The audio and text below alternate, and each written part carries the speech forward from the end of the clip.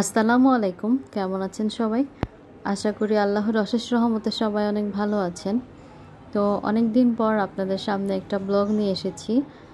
আর এই ভিডিওটি আমি আগেও তৈরি করে মিউজিক দিয়ে আপলোড করেছিলাম। তারপরে দেখি কপিরাইট ক্লেম চলে আসছে। এই জন্য ভিডিওটি আবার ডিলিট করে, নতুন করে আবার তৈরি করছি। তো আমি আমার বাবার বাড়িতে বেড়াতে এসেছি। আর ছোট চাচা নতুন বাড়ি করার পর আমার আশা হয়নি। আমি যেহেতু গ্রামে থাকি এখন, একেবারের জন্য চলে গেছি গ্রামে। আপনারা তো যারা আমার ভিডিও দেখেন সবাই জানেন। তো এখন চাচার বাড়িতে বেড়াতে আসলাম।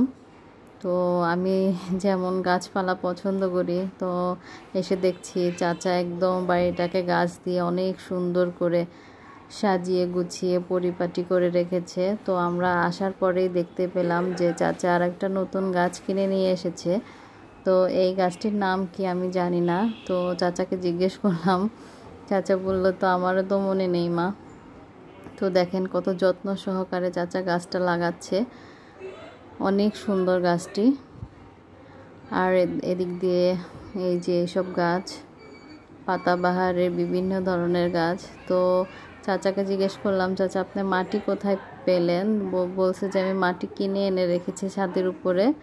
তো যখন আমার যে গাছটা পছন্দ হয়, সেটা এনেই আমি মাটি এনে তারপর ছাদের থেকে মাটি এনে তারপর আমি লাগিয়ে ফেলি। তো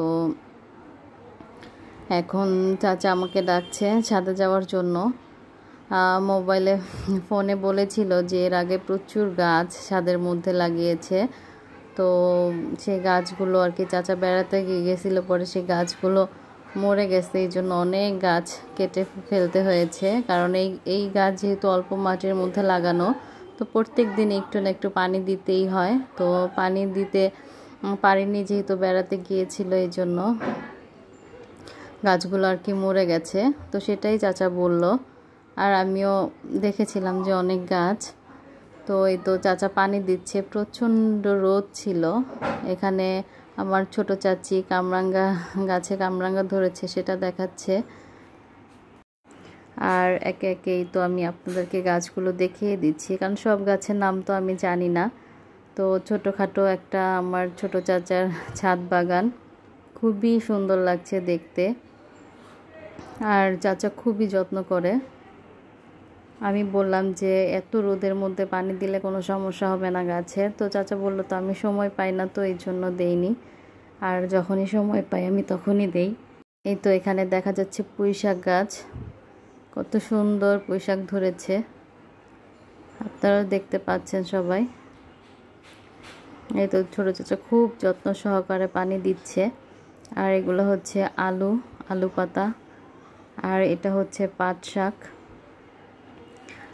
আর এই গাছটি হচ্ছে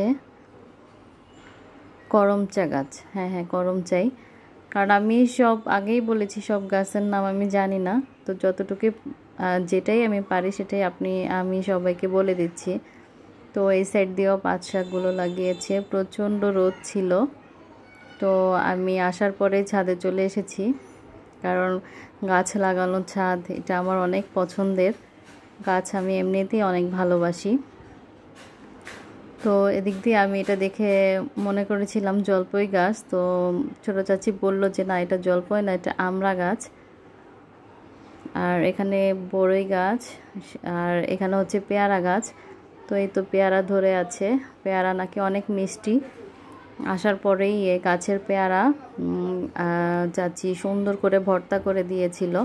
তো এর আগে পেয়ারা ভর্তা আমি খাইনি। তো চাচি খুব মজা করে পেয়ারা ভর্তা করে দিছে। খুবই টেস্ট হয়েছে। আমি এখন ছাদ থেকে নেমে চলে এসেছি বাড়ির সামনে। তো বাড়িটা মাসাল্লাহ অনেক সুন্দর হয়েছে। তো বাড়ির সামনে এরকম করে গাছ লাগিয়েছে, বাহারি রকমের ফুল গাছ লাগিয়েছে। তো সবগুলো ফুল গাছ আমি নাম বলতে পারি না। তো একটা ফুল আমার কাছে খুবই ভালো লেগেছে। সেই ফুলটা হচ্ছে, এই তো আমি আপনাদেরকে দেখাচ্ছি। এই তো বাহির সামনটা দেখতে এমন হয়েছে, খুব সুন্দর। তো এই তো আমি যে ফুলটা কখনো দেখিনি, সেটাই আমি আপনাদেরকে দেখাচ্ছি। ফুলটা হচ্ছে বেগুনি কালার। তো এই ফুলটার নাম কি সেটা আমি আসলেই জানি না। তো এখানে চাচাও ছিল না এই জন্য জিজ্ঞেস করতে পারিনি। তো এই তো দেখতে পাচ্ছেন, ফুলও ফুটেছে। খুব সুন্দর মাশাল্লাহ বাহারি রকমের সব ফুল গাছ। তো এর আগে নাকি অনেক ফুল ফুটেছিল, গোলাপ ফুলও ফুটেছিল। গোলাপ ফুল আমার সবচাইতে প্রিয় ফুল। তো এখন গোলাপ ফুল নেই। এই তো দেখতে পাচ্ছেন কত সুন্দর। তো সবাই দোয়া করবেন। ভালো থাকবেন, আল্লাহ